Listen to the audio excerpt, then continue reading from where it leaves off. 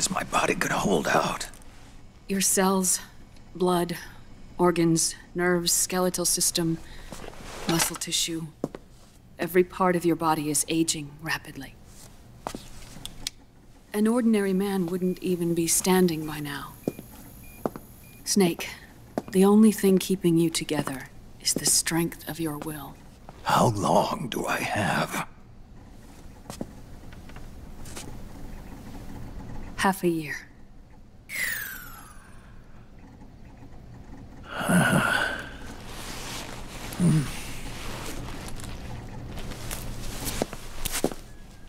Don't.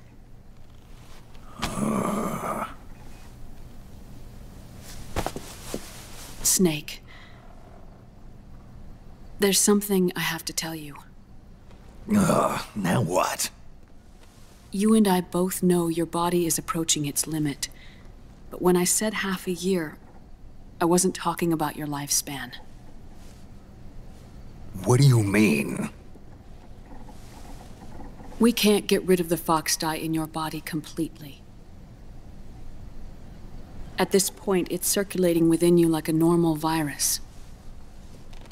Yeah, so? Listen to me. FOXDIE only kills its victims when the infected person's genetic code fully matches the genetic sequence programmed into the virus's receptors. In other words, it only attacks targets with specific genes. I know. That's what killed the AT president. And Liquid. And at the same time, it's set up to protect those not designated as targets from the virus's harmful effects. Here. I'll show you.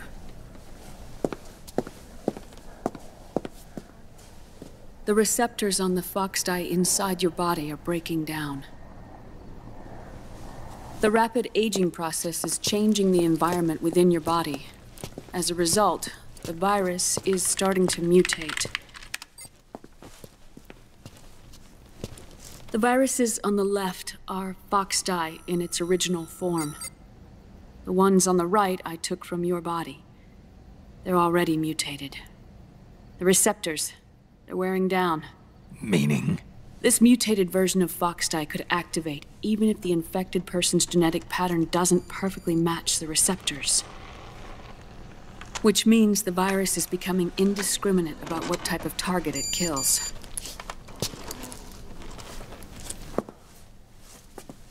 Ever since Shadow Moses, FOXDIE has been breeding continuously in the nanomachine colony inside your body and dispersing into the air. But there are no more targets to attack, so there haven't been any more outbreaks. However, if the receptors continue to wear down, it'll become a killer virus that attacks untold numbers of victims. What if we kill them all? Remove them from the body? There are no antibodies either. I don't know what percentage of the receptors have to break down, or how many people will be targeted when that happens. But what is certain is that people will begin to catch FOXDIE through airborne transmission. It'll start with those closest to you. Then, one by one, they'll lose their lives. The part of the virus that distinguishes between individuals will start to break down in about... Half a year. No. Three months at the most. Three months? Ironic, isn't it? You've spent your entire life saving the world from Metal Gear, from nuclear annihilation. And now, you're becoming a doomsday device yourself. I can't predict exactly how devastating the epidemic will be. Whether just 1% of the human race could unlock the broken receptors, or whether we all can. In either case, three months from now, you'll be a walking biological weapon.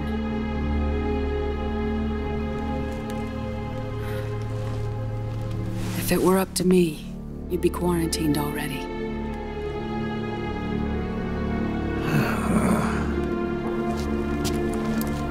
It's not over yet. I know. You still have a job to do.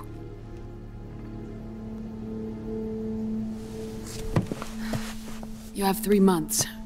Still enough time to think once all of this is done with.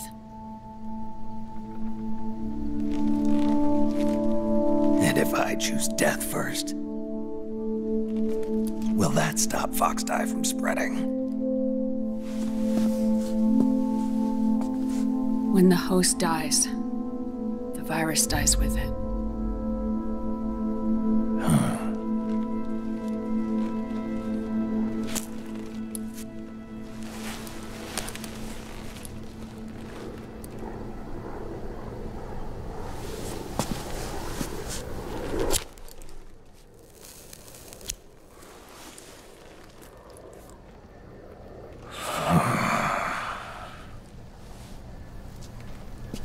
Snake, tell me one more thing.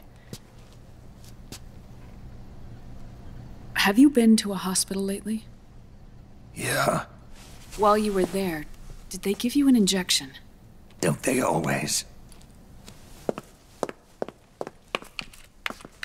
Take a look at this. These came out of your body as well. It's a new strain of foxdie, one I've never seen. Someone must have put them in you recently. Do you have any idea who? Him. The new foxdie strain is starting to multiply rapidly. What's in it? I can't say for sure. I'll need to do some more tests. Here, take this.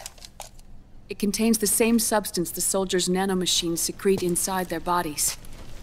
It's a drug that inhibits the nanomachine's ability to regulate the senses. The nanomachines inside the body malfunction when the system interferes with them. It triggers a reaction in the body, which is why you're having the seizures. Give yourself a shot whenever they get bad.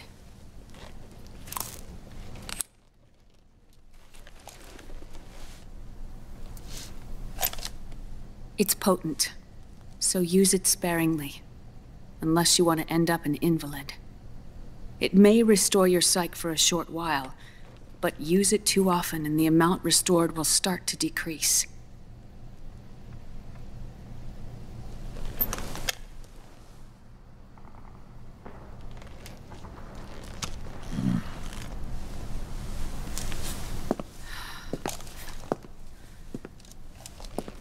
I've been a fool.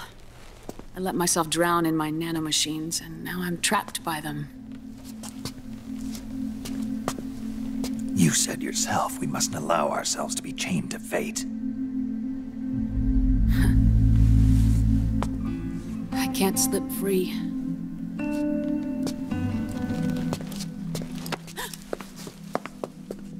Then I'll free us both. Where's Liquid? I can't tell you yet. Not until you free me. Do you even Liquid left here last night. Where was he headed?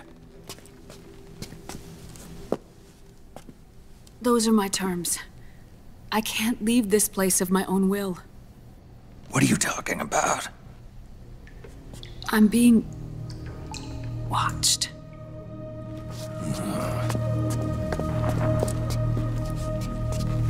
Liquid has altered his plan. Removing the system will only cause his army to collapse from within. So he's chosen to seize control instead. Liquid's objective is to hijack the SOP system. He'll use it to create the ultimate army of perfect soldiers and launch his insurrection against the Patriots. There's a name for his new plan. He calls it Guns of the Patriots. Guns of the Patriots. This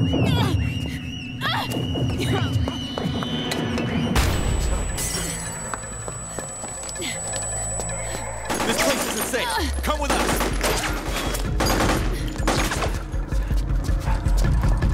This way.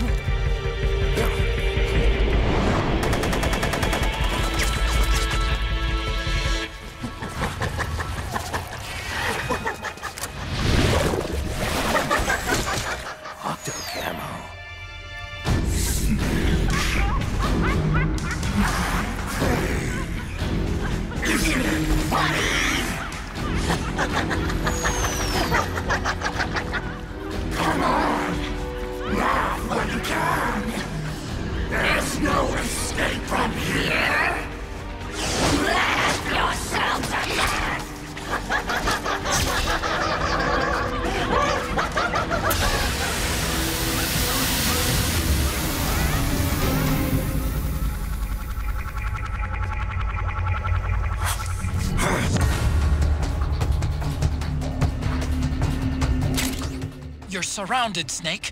You'll have to break through to go after Naomi. Take out those enemy soldiers and clear a path.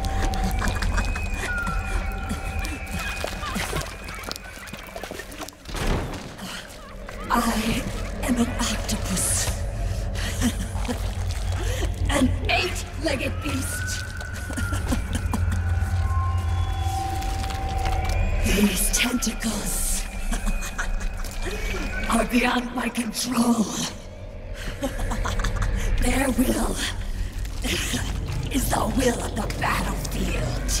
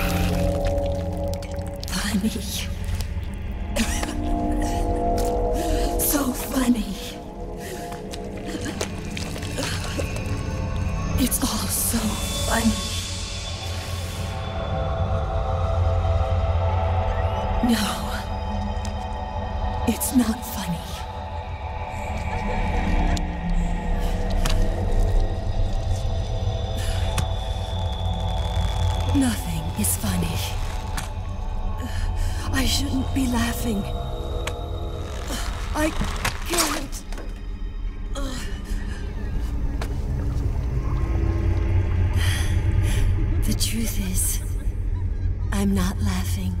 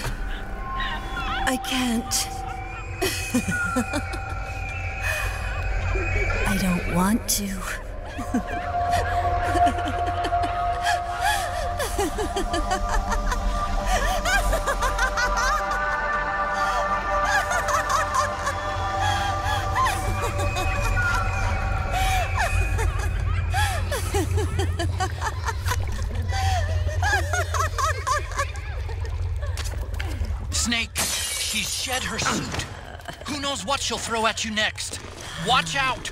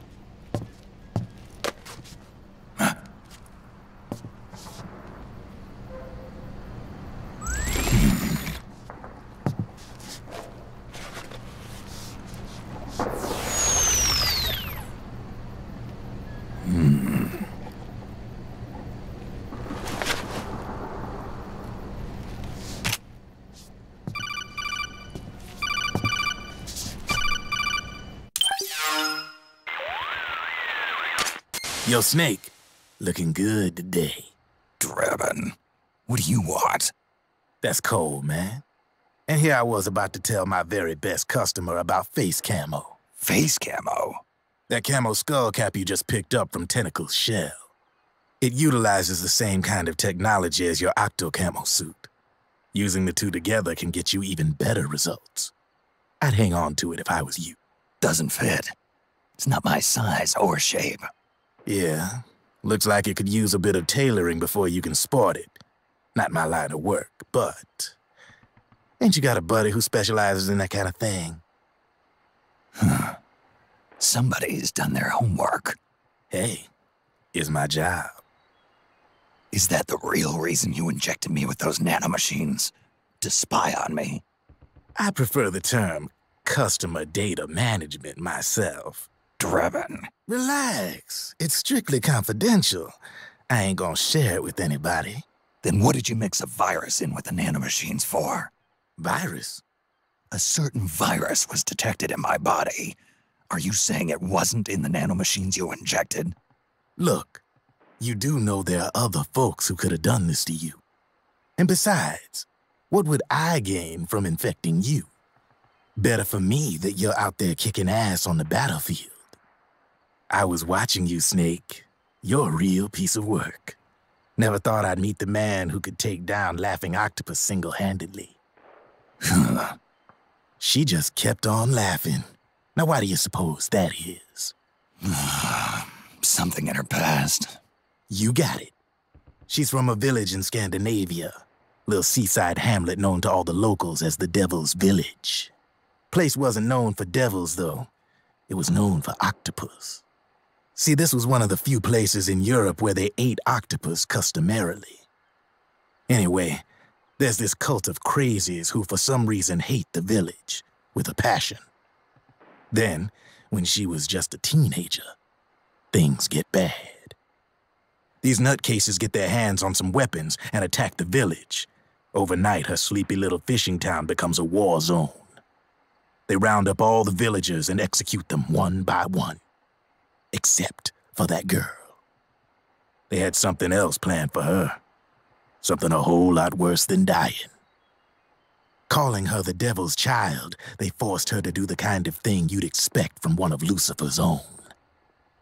After they made her torture her family and friends, they made her kill them. The whole time they were forcing her to laugh, howl like some sort of demon. Like she was enjoying it. What was she gonna do? Say no? They'd kill her too. So she let fear take control and did exactly as they told her. She butchered the bodies of the ones she loved and laughed while she did it. And as she bathed in their blood, it gradually turned from deep red to jet black. To her, it looked like the ink of an octopus. The experience scarred her deep. Ever since then, she hasn't stopped laughing. Only, that ain't really laughter. Why are you telling me this? You expect me to feel sorry for her? Nah. I know you got no room for that stuff in your world. And besides, this is war. Right? In a way, though, I guess it was the right thing to do. What was? Fighting you cleansed her mind. All right, enough chit-chat. There's other beasts out there in them woods. Watch your back.